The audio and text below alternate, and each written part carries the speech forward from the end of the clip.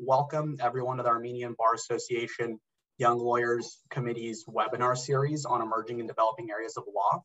This webinar is about esports and gaming.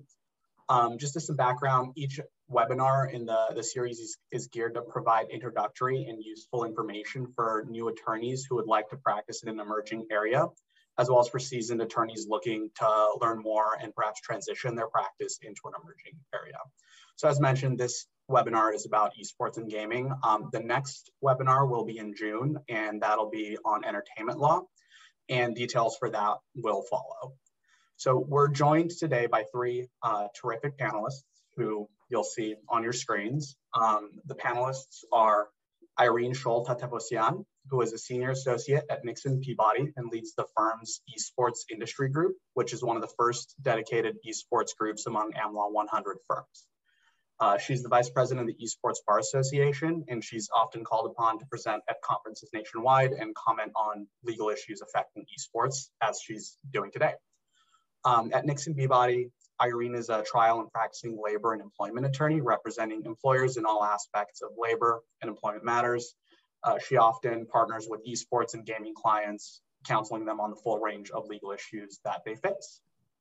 Next, we have Elina Avakian, who is Associate General Counsel on the platform and technology commercial team at Snap Inc., which is the company that owns Snapchat, Bitmoji, and Spectacles.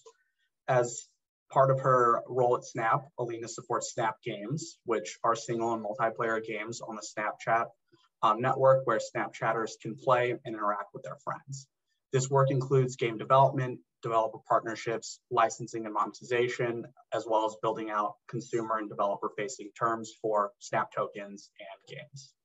And finally, we have Professor Ellen Zavian, who is Associate Professor at George Washington University and the owner of Easy Negotiation Institute. She began her career in sports law while earning her law degree, at which time she interned for uh, the NFL Players Association. Soon after graduation, she became the first female attorney and agent in the NFL. And throughout her accomplished career in sports law, she's represented the US women's soccer team, softball gold medalists, extreme athletes, um, and has held the title of commissioner for the Central Atlantic Collegiate Conference.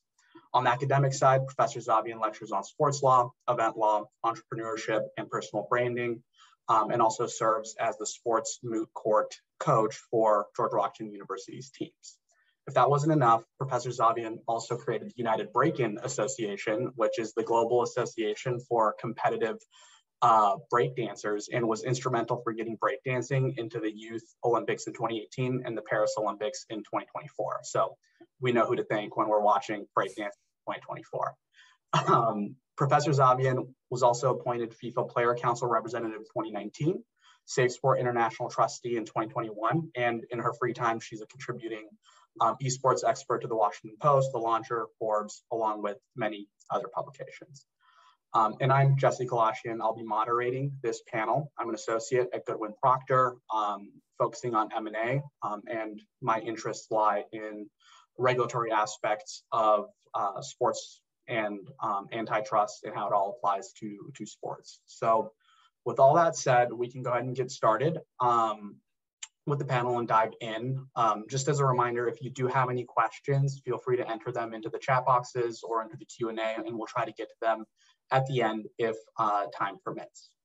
So welcome everyone to our panelists. Thank you for being here. Um, I know I've been looking forward to this, so hopefully we can have a, a lively discussion about esports gaming um, and really dive into to the issues and the work you do in the space.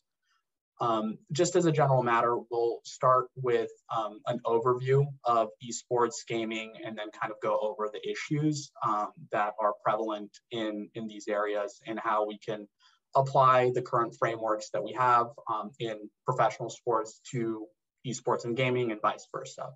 So what I think it makes sense to start with is just going over um, what esports are, what gaming is, and then um, kind of diving into the issues. So with that, we'll start with Irene. Um, and Irene, if you could, will you please just give us a, a general overview of esports um, and kind of let us know what esports means in your world and how this is distinguished from gaming, gambling, um, and then if you can just give us some of the basic frameworks that esports are structured around.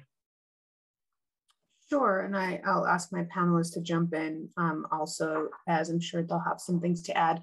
Um, so we'll start with the larger framework, which is gaming. And when we say gaming in this context, we mean video gaming, not like gaming in a casino. Um, so focusing on the video game industry, the the first thing to focus on is the publishers, the game developers, in other words, and those are the folks, you know, the Riot Games, the Epic Games, Microsofts of the world that create the games that we all play. Um, and there are games where you just play as a single player. Um, and then there's games that they make that are conducive to competitive competition. So these are games where folks get on in different areas, uh, including in areas all over the world, and play competitively. For that, there's just people who game casually. So you go on to one of these games, let's say, and you're casually playing with people all over the world, like let's say Fortnite uh, by Epic Games. There's there's uh, the high school now and more of a collegiate scene as well. And usually, when people talk about esports on the professional scale, there's also professional competitive esports competitions, much like you see in traditional sports. So the esports professional scene, depending on the game, so let's focus on one type of game, let's say League of Legends made by Riot Games. They have a whole league that different teams play uh, competitively in. And there's a, it just like all other traditional sports, there's a finals, there's a winner. Um, it's a franchise model not every game that's in the professional world is like that. They don't necessarily have leagues. And some games um, end up contracting out their tournaments to third party providers that put on the tournaments for them. So, depending on the game, you have a different model of what the competitive scene looks like. Um, and even so that that kind of explains what the difference is between the esports world which you can think of as competitive gaming the gaming world which is the broader umbrella where you can have casual gaming. And in that umbrella it's also necess- uh, important to include mobile gaming which is a huge part of the gaming industry. And a lot more people are playing mobile games than you might have some of the other games right? Because there's the games on consoles there's the games on your computer and then there's games that are also mobile games. So when you look at it as an entertainment industry, gaming is massive and esports is a subset of that industry.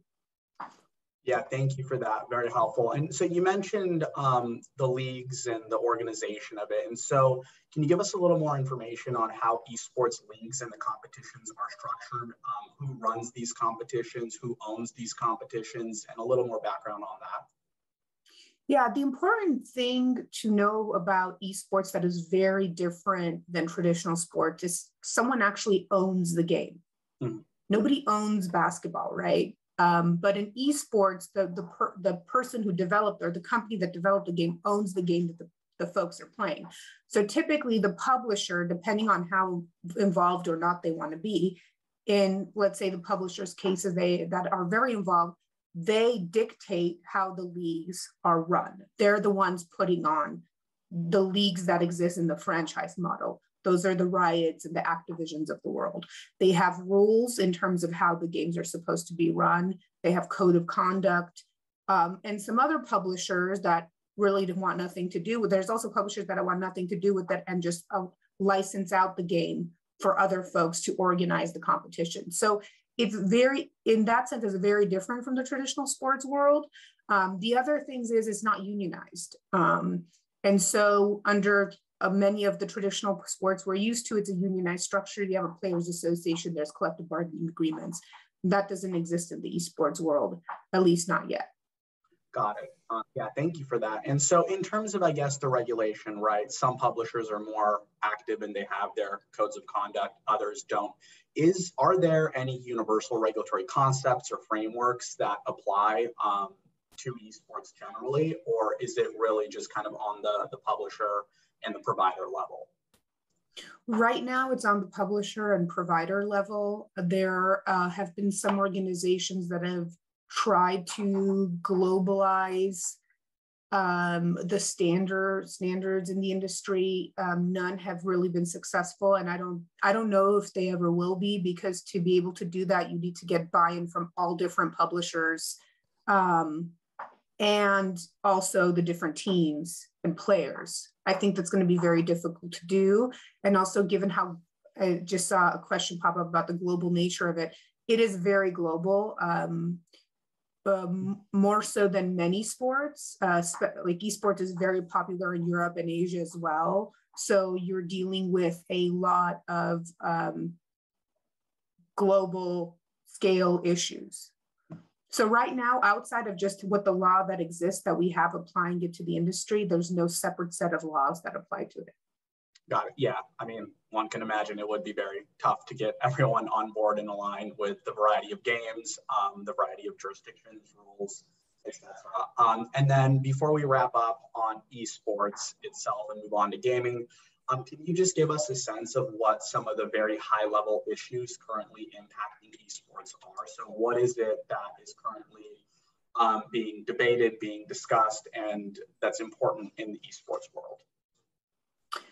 Uh, a big one is the integrity of of the um, of the framework, which I know Ellen is going to address later. Um, another big one is gambling um, and betting. Um, uh, there's all sorts of labor and employment issues. Unionization has been discussed a lot. Um, I mean, there's uh, uh there's uh, the I would say the four main buckets are the integrity, the gambling, labor and employment, and probably IP are the four big pieces. Got it. Okay. Well, thank you for that very helpful background to have to, to frame the rest of the session here. Um, so with that, we'll now turn to gaming um, and we'll turn to Elina. And so Elina, if you can just give us very quick background on what gaming is and how it's defined um, in your industry, just so we can better understand um, what people mean when they say, you know, they're in gaming. Sure, thanks. Um, I think Irene provided a really good definition and overview of kind of where gaming is versus esports versus gambling. So I do want to clarify again that when we talk about gaming under regulations, um, gaming is also used to define gambling, right? Which is a game of chance where you can win something of value, not necessarily money, and it requires you to put something in a value, usually money, when we're talking about like casinos or mobile or online casinos mm-hmm. um, in order in order to win and, and, in order to play. So that's not um, that's not what what I'm talking about, but that could be a, an issue that we can discuss later. Um, mm-hmm. So gaming is, I mean, it's it's what we all know, right? It's um, as as Irene mentioned, there's mobile gaming, there's console gaming, there's uh, computer gaming on you know PCs and desktops. I focus almost exclusively on mobile gaming uh, for Snapchat. And um, what's interesting there is that most of those games are pretty like casual and hyper casual games, right? Like all the games that we've all heard of, like Candy Crush that we've all heard and probably played and we're obsessed with, and currently probably Wordle a lot of people on here are probably playing that. So it's really, it's not so much about the competition, although a lot of them will have things like statistics or ranking among friends. If you have like on, on Snapchat, if you have friends who also play the game, you'll be able to see things like where you're ranked relative to your friends if they choose to share that information. And that's really just to, you know, get the competitive spirit up and get people more engaged in the game. But it's not competitive in this in the same way that esports is, right? It's just something you play on your uh, you know on your commute if you're on a bus or something that you just play casually when you're trying to tune out or you're watching a show and you're multitasking on your phone. And um, so it's you know th- there's a lot of different ways to engage in gaming. There's single player games something like wordle again right? There's multiplayer games which can be both either synchronous or asynchronous. And synchronous games are games that you both have to be in the game at the same time to play it. Something like let's say I don't know, like like tic tac tic tac toe, where you're both in the game at the same time and you're seeing what the other player does, and then you move. And then you can also have asynchronous games, and that's where you can, you know, if, if you played like words with friends or like draw mm-hmm. with draw with friends back in the day, that's a game where you make your move, it gets stored on the server, and then when your friend comes in, they see what the last thing was that happened. You know, they have to guess the word or they draw, figure out what you tried to doodle and then they can make their move. And then the game is continuous. So you're still playing with someone or you're playing against someone, but you don't both have to be in the game at the exact same time in order for the game to, to, to continue. It just will continue as people pop in and out. And so there's a lot of, um, you know, just interesting considerations there with things like privacy, right? Like what is the game storing about you? What is the game storing about your friends? How long is that information kept? What can they do with that information, especially in the case of like asynchronous games? Mm-hmm. Um, and you know, for something casual like words with friends, the privacy issues are not as serious, right? Like they'll probably have something like an email or a login for you, but there's also games that can have things like UGC, right? User generated content where you can create things as, as part of the gameplay. And then what are they storing about you there? Or games that are like, um, you know, games that ask questions. So information about like having you take a poll and see if you or your friend are better able to predict the outcome of future mm-hmm. events, right? And then in that case, some the poll questions might give away a little bit more about the user than something like a doodling game where you're just, you know, given a word and asked to draw. So there's a lot of different things to factor in. And then of course with mobile gaming, everything that impacts a platform is something that has to be considered as well, right? So we, we can get into that mm-hmm. in, in a little bit. Yeah, definitely. And, and that's super helpful. And I guess you know, there's all kinds of, it's quite a spectrum of gaming, right? Whether it's like casual, ultra casual, and competitive. So, in your view, um, where does a game move from being um, just casual gaming to competitive gaming, and then maybe even the next step to like what would you define as like an esports, right? Like if I were to set up a league with like words with friends, and you know we all kind of do like a round robin tournament or something, um, would that then, in your view, take a casual game into the esports realm, or is that not how it's viewed um, by folks in your industry? Um, so I would defer back to Irene's definition because she's definitely the expert on esports. Um, what I would say is that, of course, there's there's friends who play things competitively, but esports really is a, a like a, a, professional kind of mm-hmm. uh, environment, right? So it's kind of like saying, you know, you and your friends play three on three basketball on Saturdays. Is that the same as participating in the NBA, like not really. You could, you know, you could still compete and make your own tournament, mm-hmm. but it's not, that's not really the same caliber. Um, I, I think another thing that's interesting about gaming is that there's a lot more women who are involved in casual and hyper casual gaming than is perceived. And I think part of it is how we use terminology. So, you know, people say like, I'm a gamer and men are more likely to say I'm a gamer than women are. But when you look at things like casual or hyper casual games, a lot of the people who play those games are people mm. who uh, identify as women you know especially when you think of games like candy crush or um, you know games that like king or that zynga uh, develop and release those kinds of games they have a, a high percentage and mm-hmm. sometimes more than uh, more than 50% are, are, are women um, so i think it's i don't i don't know for esports how how the division is irene if it's more if it's more men who tend to compete in, in esports competitions or if it's pretty evenly divided? Yeah for the professional uh, level it's it's pretty heavily male. However when you look at the landscape it's a they think that the numbers were 40 something or 40, close to 40 percent women. Hmm. um, but what's also interesting is that uh, the spend in the industry is more from women in terms of dollar values um, and then uh, to your question, Jesse, because it's a question that is is asked a lot, like what makes a game an esport? Um, and uh, brighter minds than I always say the answer is the audience decides what a game is an esport um, in terms of how much competitive play there is. Um, and then something that folks um, have a difficult time understanding with esports is, you know, well, folks say, well, I think Elina addressed this. I can game. Does that make me a professional player? It's like, well, no, I can play basketball, but that doesn't make me LeBron James, right? Um, these athletes are truly athletes. The folks mm-hmm. that play on a competitive level, I mean, they're really something else, and and they train all day, every day, just like professional athletes do. Okay, got it. Yeah, very, very helpful distinctions and some interesting facts about, um, I guess, the split between male female in the gaming and esports world. Um, Elina, just turning back to you, we'll ask the same questions we asked um, Irene. So what are the you know, regulatory concepts, frameworks um, that kind of govern your day-to-day um, and the gaming world?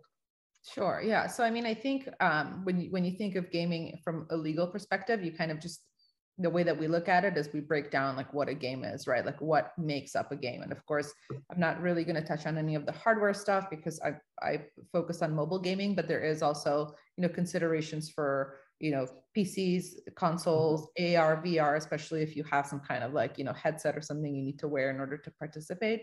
So i'm not touching on any of that. Um, but you know when you think of a game you're you have to think like what makes a game? Like what mm-hmm. is it right? And so there's a, a lot of different frameworks that apply both to platforms generally right? Like things like child online privacy protection act to make sure that your game is safe for the audience that you say that it's for. There's also voluntary um, rating boards where your game is rated based on you know how violent or non-violent it is, so that it you know it'll impact which uh, you know which platforms you can be on, you know what the minimum age is that it says you mm-hmm. you have to be to play, etc.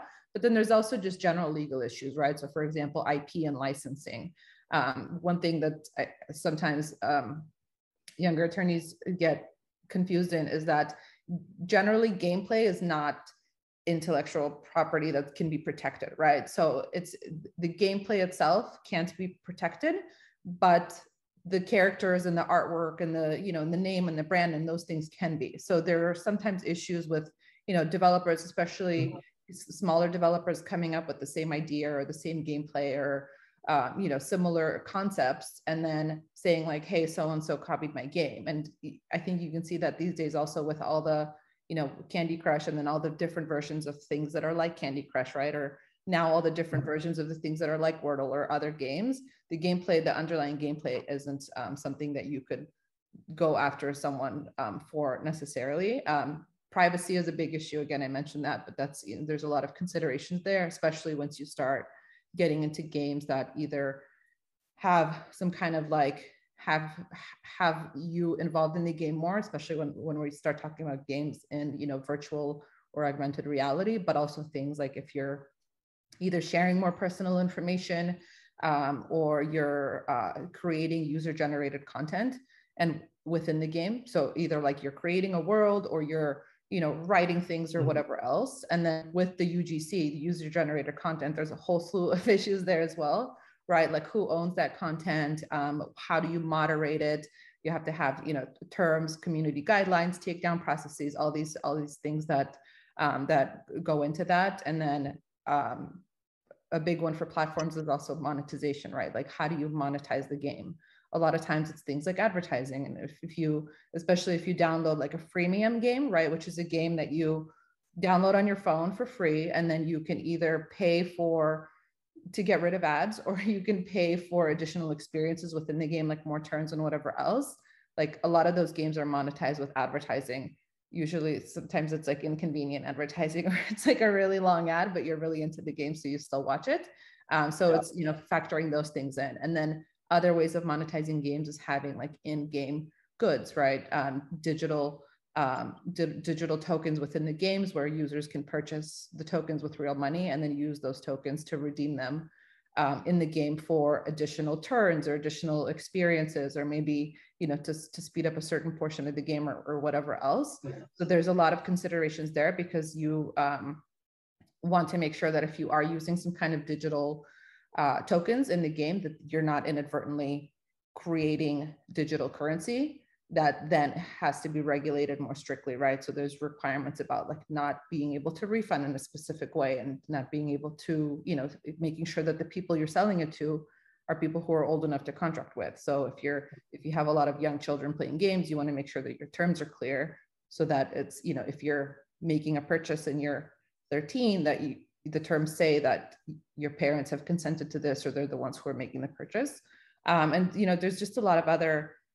Um, I think we, we touched on gambling, but making sure you, your game play or uh, the way that the game is run doesn't inadvertently steer into the territory of gambling.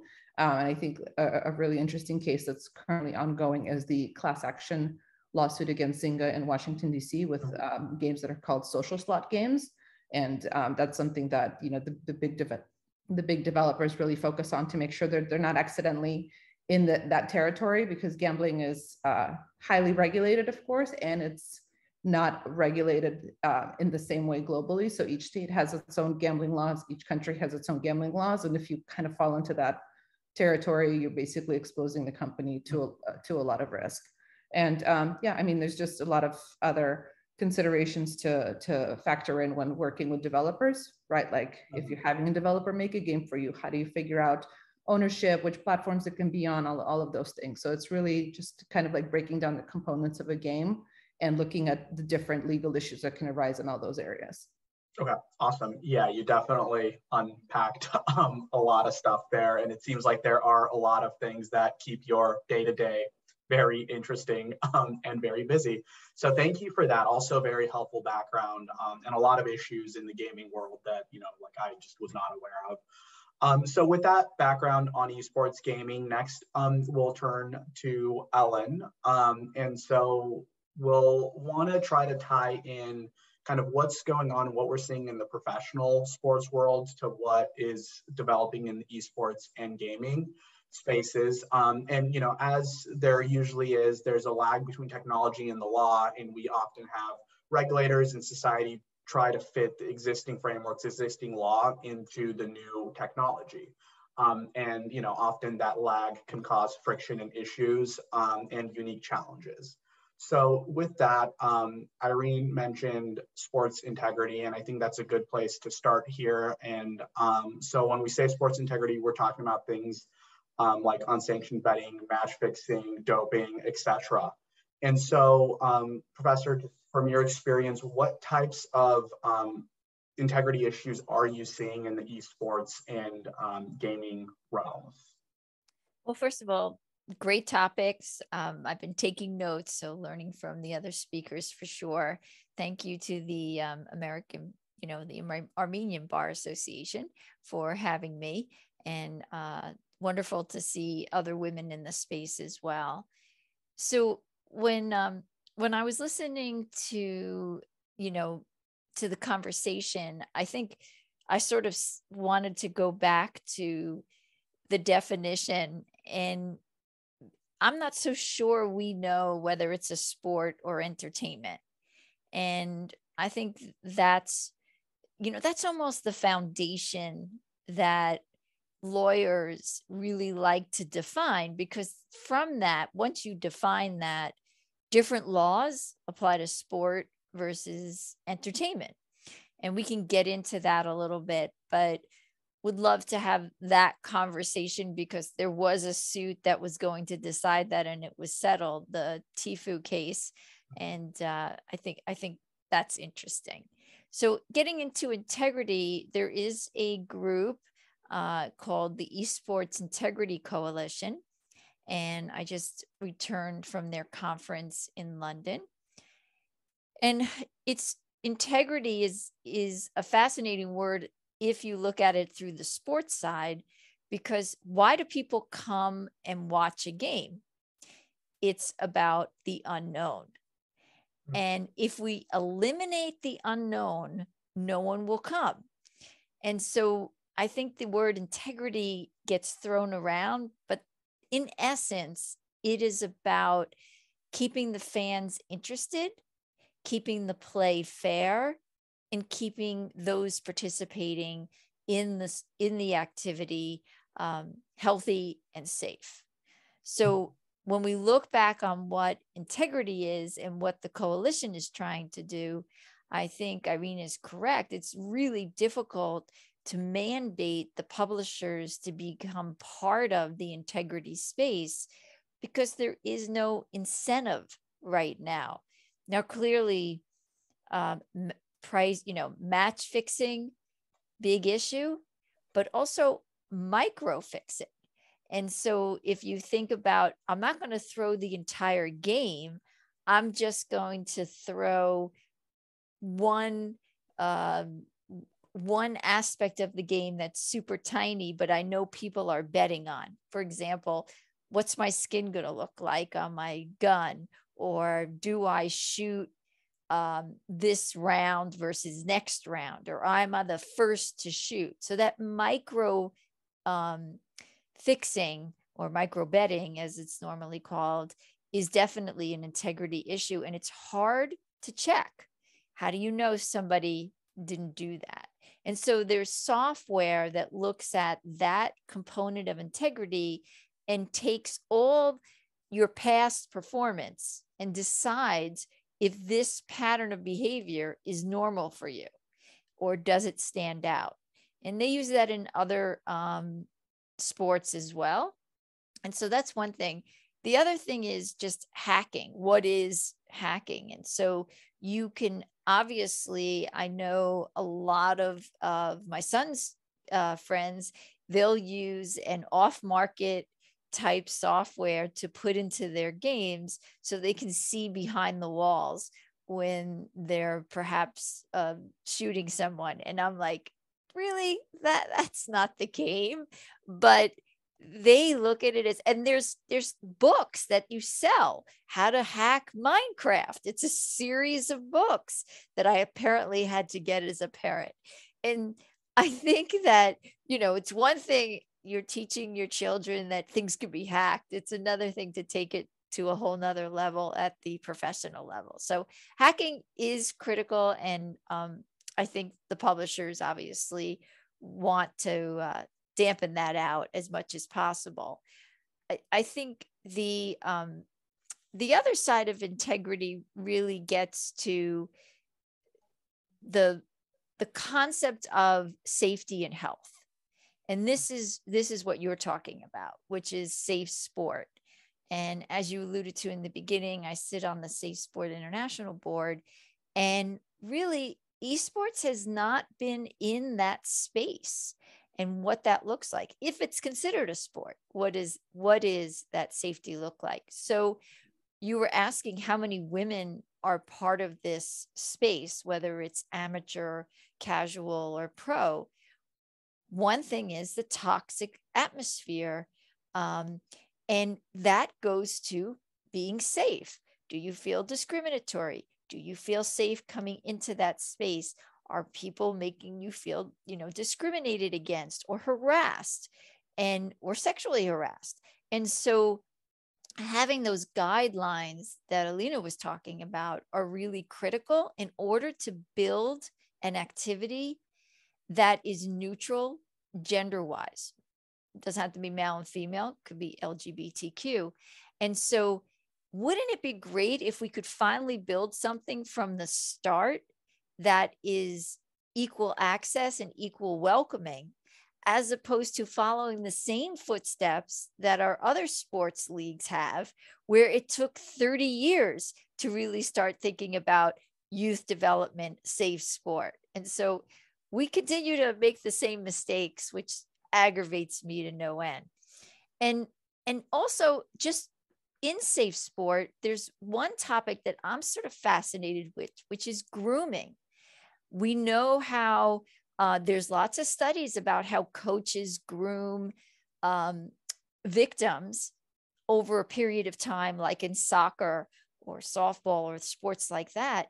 We don't have a lot of studies on how um, people are grooming on the online space to get access to these to these gamers and so lots of information that we still have a void that need to be focused on i hope that that sort of touched upon some of the things that you're thinking about in safe sport yeah, it certainly did. And so, how would you then recommend, um, you know, if you were the decision maker and you kind of had free reign here, how would you incorporate, to the extent you can answer, right, safe sport um, into esports and gaming? Are there monitoring systems that should be used? Is it more guidance for parents who are letting um, younger children access either mobile gaming or get involved in more of the professional side of sports?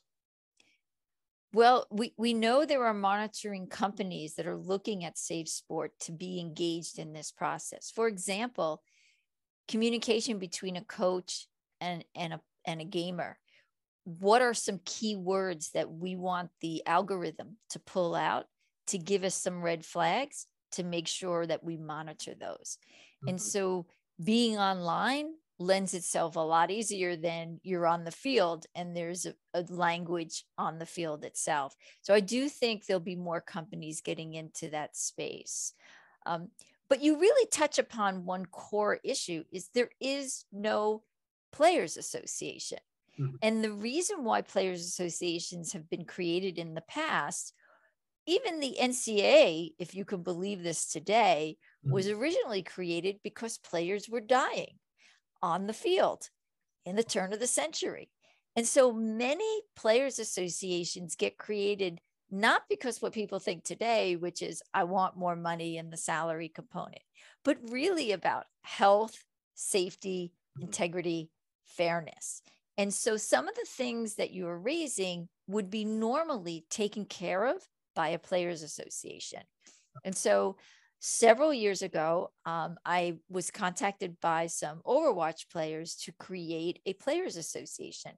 And our main goal was just that. How long should we be playing? What are the breaks? Should we have trainers? Should we have massage therapists to deal with our aching backs and spines and carpal tunnel syndrome? And so those health issues. What about the e doping, which gets into are you taking medication to stay up, to have better reaction times? These are things, concussions that NFL players took care of.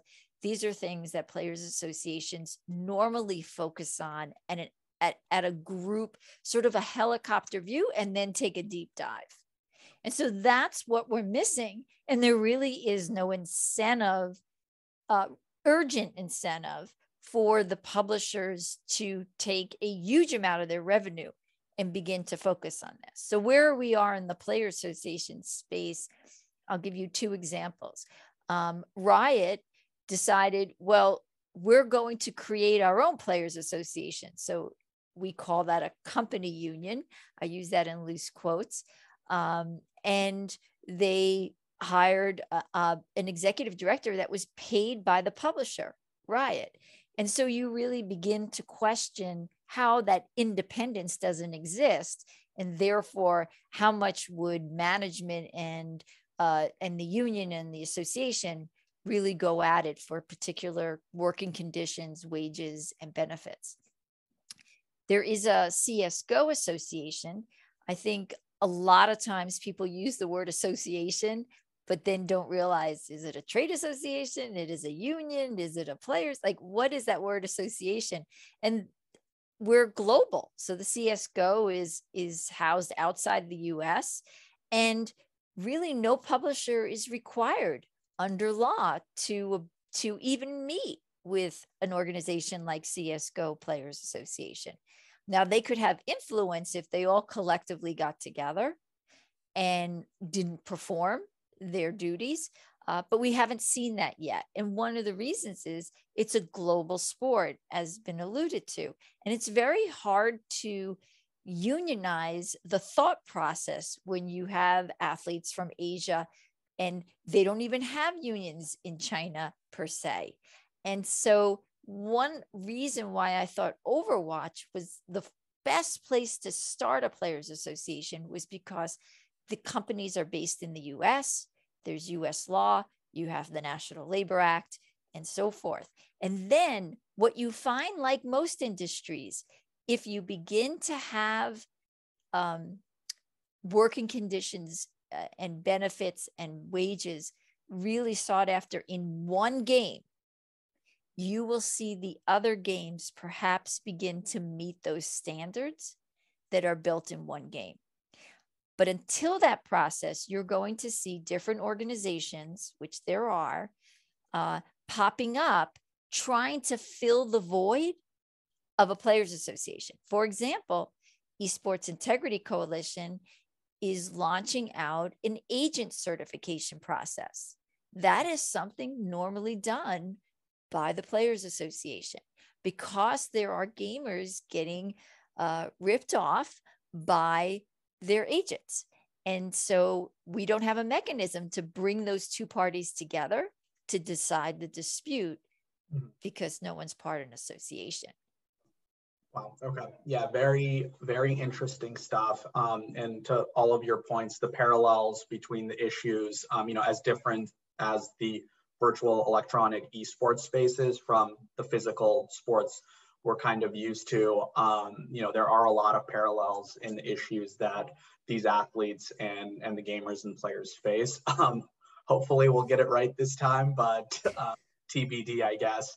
Um, so this was all very, very helpful. And in the last, um, you know, 15 minutes, I'd like to devote maybe 10 minutes to just talking about some of the issues um, that we've highlighted, some of the, the trends that we're seeing, um, and, you know, kind of open it up to whoever has an opinion on this, um, given that there's probably no one right answer and it's um, a bit of guesswork. And so one of the things I find interesting and one of the biggest changes that might be coming up in the gaming um, and esports world is virtual reality and augmented reality and how these are incorporated into esports um, and gaming. And so maybe Irene, Elina, um, if you can kind of just start us off and talk about how virtual reality and augmented reality um, might affect esports and gaming and where that could lead. Um, I think that would be helpful to hear.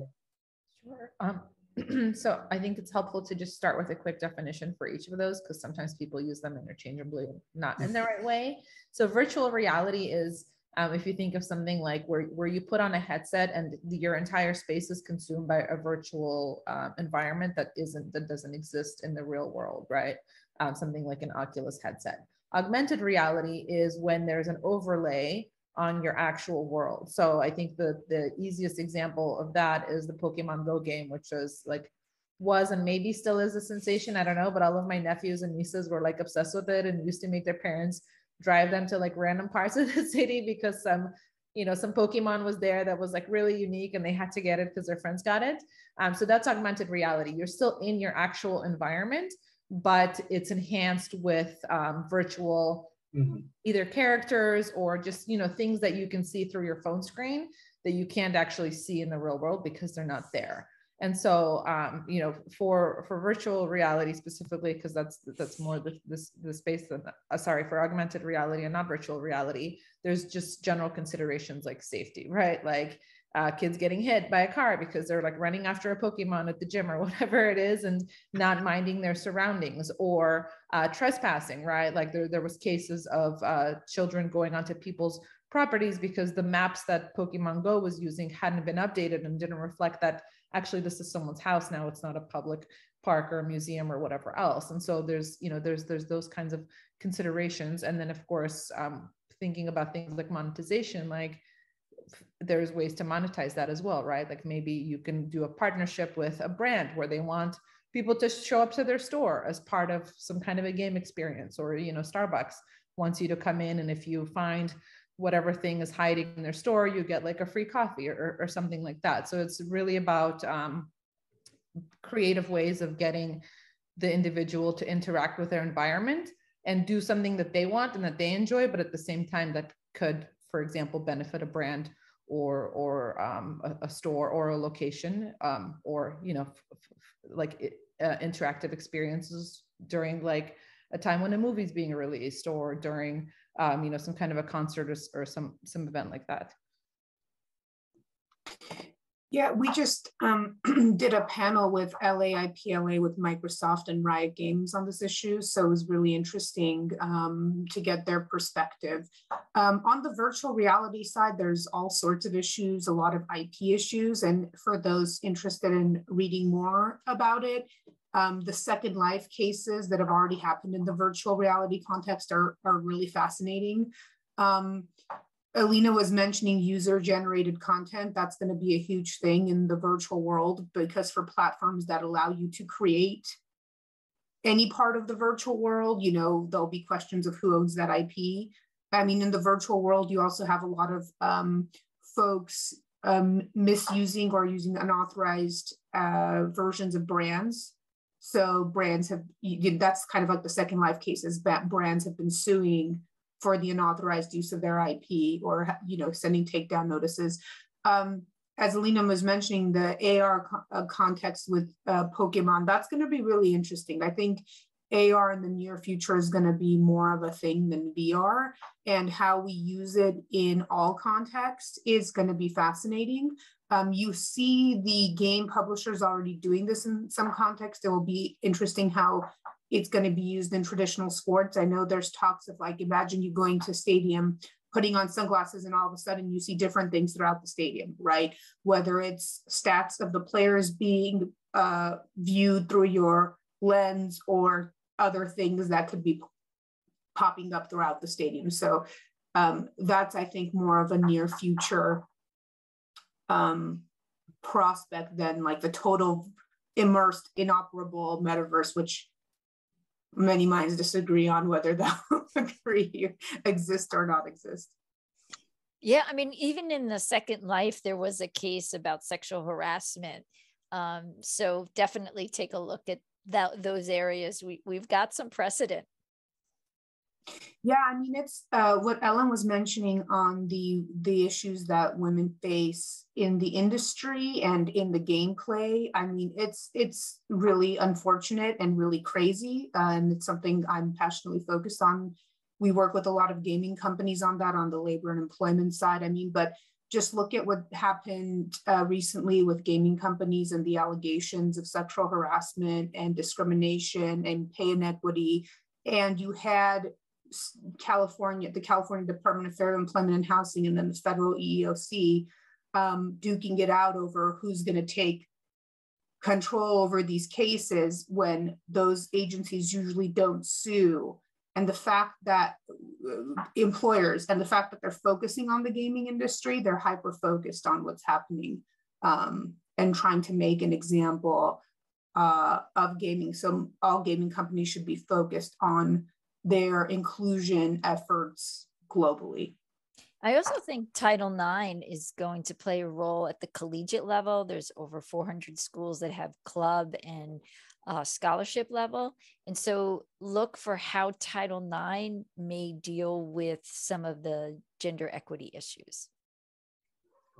Interesting stuff, um, and a lot of very developing um, areas as well. So I have like a long list of questions on the issues um, and everything to talk about. Um, more questions now um, after hearing each of the panelists speak. But um, given you know we've kind of talked about women in esports gaming, and given that we have an all-female panel, I think we would kind of be remiss not to maybe discuss some of your paths um, to where you know how you got to where you did your experiences um, and what you would you know suggest for other um, women who want to get involved in the industry and also um, you know just generally um, anyone who wants to get in the industry and so you know Ellen, we have you here. Um, you have had quite an accomplished career and you've been quite the trailblazer um, in many aspects of your career. Um, and that's kind of highlighted by being the first female um, agent in the NFL. And so maybe starting with you, if you can just kind of give us um, like a brief primer on your career path, how you got to where you did, um, and what challenges you faced that you think um, others might still be facing, and how you overcame them, and what advice you'd give. So I know that's a lot there. Feel free to answer any or none of those questions. Um, just turning it. I got I got to work on my book, right? Um, yeah. So so I think two things come to mind. I mean, we're at the Armenian Bar Association. So let's talk a little bit about being Armenian in the space. Um, I told my dad that I was speaking at this. He's he's 92 and he's at work, so he said he didn't have time to hop on. Uh, this this is what I'm brought up with. This is the work ethic of going. And I said to him, you know, it was interesting. We were talking about you know whether an armenian father would support you know i said you know dad i i never took your i never seen anything you've done that was not supportive. And obviously i come from a, a family business of over a 100 years so it was very easy that my dad says every week come back to the family business. Um, but you know his response was you you brought me around. You made me see the light and I thought, wow, like I didn't even know he felt that way. Mm. And so to me, it's about those incremental steps. Um, and one thing I will say that, um, you know, I had very strong women in my life, so can't, can't beat that. My dad married a strong woman, can't beat that. But I would say overall, the best advice my dad ever gave me was, um, you know, you're you're not, you know, you're never really that relevant. You're always chasing that next step. And when publicity started coming my way very early on in my career, I remember going out and getting the paper that I was featured in uh, USA Today, and I brought it in, and my dad never read it. And he said, I'm worried about what you're going to do tomorrow. I'm not worried about what you've already done today. And I think that's sort of that Armenian philosophy that we we are a small group of people that when we get together, it's critical we stay together, be supportive, and develop the community. And that's how I look at this session. It's it's about being supportive. Yeah, that's that's terrific. Um, terrific insights, and I think a lot of us can relate. Whether it's like that A minus your parents harp on, or you know, what are you doing tomorrow? It's like, yeah, very relatable. Um, so maybe Elina, we'll turn to you next. Um, I don't know, you know, how much um, your experience was very similar to Ellen's or not, but we'd love to hear, um, you know, anything you had to say on your path to, to getting the SNAP and being Associate General Counsel. Sure, thanks. Um, yeah, when we were preparing for this panel, we were talking about it. I, I, joked about how my parents will every once in a while will still be like, "Why don't you just start your own law firm?" Right? Like they don't they don't understand like the the the space that I'm in. Really, they didn't grow up with gaming. Um, that it's not you know they they watch YouTube and things like that, but they're not really into and interactive games or those kinds of experiences on on mobile. Um, so I think my one advice would just be figure out what you're passionate about. It doesn't have to be gaming, but if it is, follow that. Um, there's definitely, um, as I mentioned, a lot of women who, you know, and, and, people who identify as women who participate in, in casual and hyper casual games. But in terms of on the on the legal side, it's still most of the people who I, you know, work or nego- work with or negotiate against are men. Once in a while, I'm pleasantly surprised, and I work with a developer, and the attorney representing them is also a woman, and it's really great um, is definitely a, a growing space. Um, so I would say don't be discouraged just because a space doesn't have a lot of women in it yet. Um, just just go after that, or a lot of Armenian people, right? Just just go after that, and you you can be the first, like like Ellen was in a lot of the spaces.